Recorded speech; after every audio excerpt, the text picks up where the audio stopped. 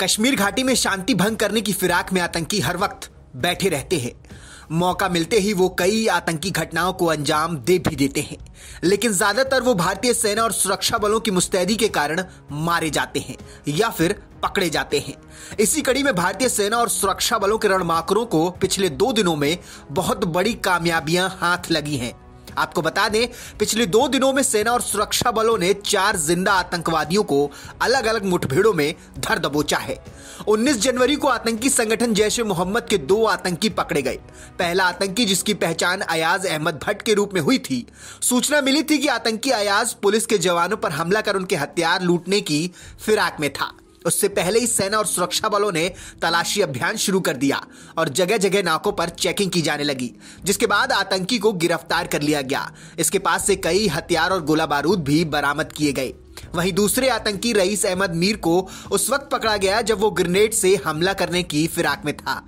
बताया जा रहा है कि दोनों ही आतंकवादियों ने आतंकी संगठन जैश ए मोहम्मद को हाल ही में ज्वाइन किया था। वहीं एक दूसरी घटना में एक आतंकी ने सीआरपीएफ बंगर पर अंधाधुंध फायरिंग कर दी।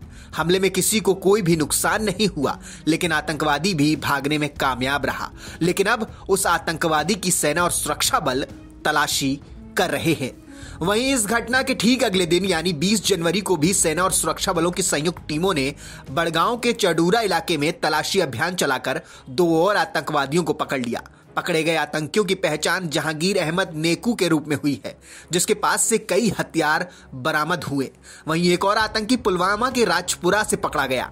जब सुरक्षा बलों ने एक संदिग्ध व्यक्ति को रोका तो वो वहाँ से भागने लगा और आतंकी ने नाके से भागने की कोशिश की और जवानों पर गोलियाँ चलाई। आतंकी की पहचान राहिल शौकत डार के रूप में हुई।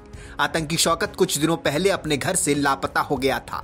अब उसे सेना और सुरक्षा बलों ने धर दबोचा है और इन सभी पकड़े गए आतंकियों के खिलाफ अब कड़ी कार्रवाई की जा रही है।